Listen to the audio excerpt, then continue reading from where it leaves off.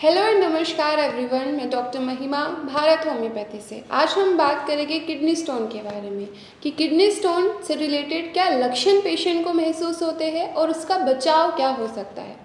तो kidney stone से related लक्षण डिपेंड करते हैं कि किडनी स्टोन कहाँ पर है। उसकी लोकेशन पर डिपेंड करते हैं कि किडनी स्टोन कहाँ पर हुआ है। या किडनी स्टोन किडनी में है यूरेटर में है ब्लैडर में है।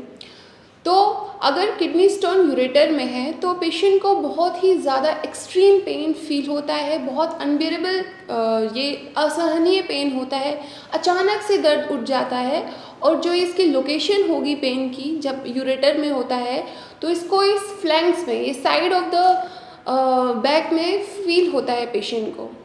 तो ये हुआ, अगर यूरेटर में स्टोन फंसा है तो बहुत एक्सट्रीम पेन होगा और बैक के साइड में एक्सट्रीम ऑफ़ द बैक में फील होगा पेन अब बताते हैं कि अगर स्टोन किडनी में है तो कैसा दर्द फील होता है? अगर स्टोन किडनी में फंसा हुआ है तो बहुत डल डल पेन फील होता है. ये डल पेन अगर कोई पेशेंट डेली एक्टिविटीज़ अपने काम, रोज़ाना का काम कर रहा है तो उसमें बहुत हल्का हल्का सा दर्द महसूस होता रहता है और पेशेंट रेस्ट करता है, थोड़ा सा काम रोकता है तो ये पेन बंद हो जाता है स्टॉप हो जाता है। तो ये दो लोकेशन इंपॉर्टेंट है कि अगर वो किडनी में है या फिर यूरेटर में है।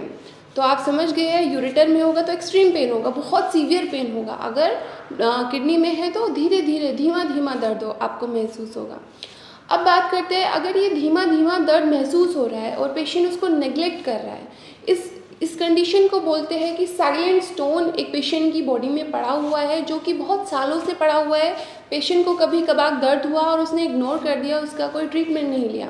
तो ये साइलेंट स्टोन जो है, बहुत ही खतरनाक आपके लिए हो सकता है, क्योंकि ये किडनी को डैमेज कर सकता है। ये धीरे धीरे किडनी को डैमेज करके आपका क्रेटिनाइन लेवल बढ़ा सकता है और further kidney chronic kidney disease में कन्वर्ट हो सकती है।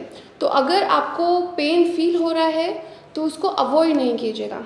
अब बात करते हैं कि क्या ऐसे प्रिवेंशन है कि सपोज़ किसी को किडनी स्टोन हो गया है तो ऐसे क्या प्रिवेंशन या मेजर्स एक पेशेंट अपना सकता है कि उसको फिर से किडनी स्टोन के चांसेस ना हो, या फिर अभी भी किडनी स्टोन है तो वो ऐसे क्या डाइट में चेंजेस करे कि उसकी तकलीफ़ें कम हों?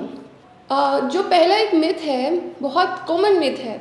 यह है कि बोला जाता है कि अगर किसी को किडनी स्टोन हुआ है तो आप बियर कंज्यूम कीजिए। ये बियर कंज्यूम कीजिए का लॉजिक सिर्फ़ इतना है कि किडनी स्टोन के पेशेंट को एडवाइस किया जाता है कि आप पानी की क्वांटिटी बढ़ा दीजिए। अब अगर पेशेंट को हम एडवाइस करेंगे कि पानी ज़्यादा पीजिए तो वो एक दो ग्लास पानी पिएगे उससे ज़्यादा नहीं कंज्यूम करेंगे।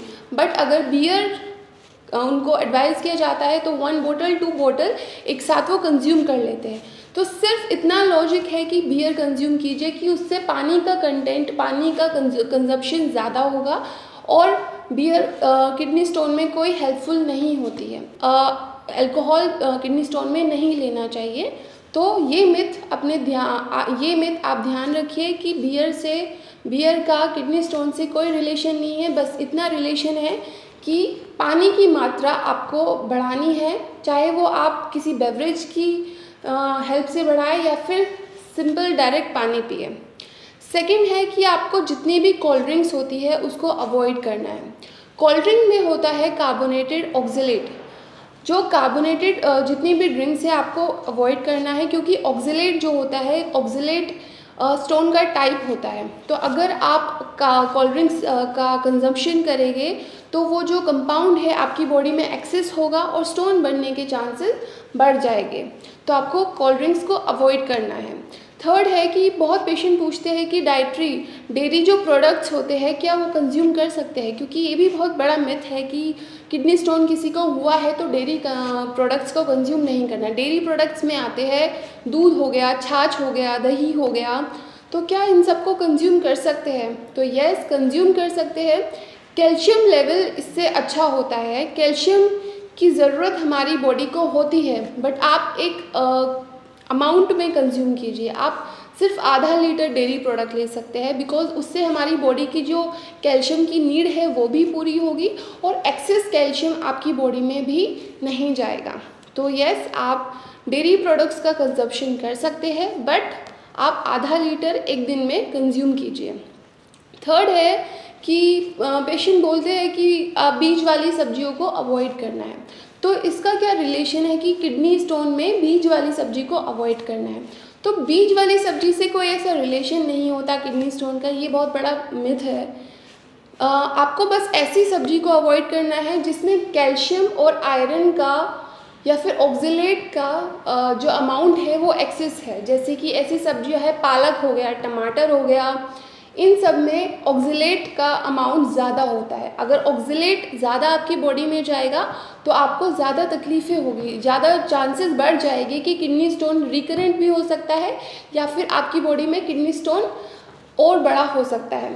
तो सिर्फ़ इतना रिलेशन है कि आपको वो सब्ज़ी को वो सब्ज़ी अवॉइड करनी है जिनमें कैल्शियम और ऑक्जिलेट का लेवल ज़्यादा है। एंड लास्ट uh, है कि अगर क्या आप नॉनवेज खा सकते हैं। तो आई वुड एडवाइज़ कि आप नॉनवेज अवॉइड कीजिए और स्पेशली आप रेड मीट को अवॉइड कीजिए।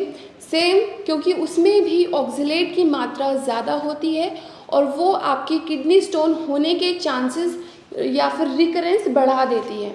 तो ये कुछ प्रिवेंशन है जो कि अगर किसी को एक बार किडनी स्टोन हो चुका है तो ये प्रिवेंशन वो इंसान एक्सेप्ट कर सकता है, अपनी बॉडी पर अपना सकता है, जिससे उसके चांसेस दोबारा किडनी स्टोन होने के बच जाए।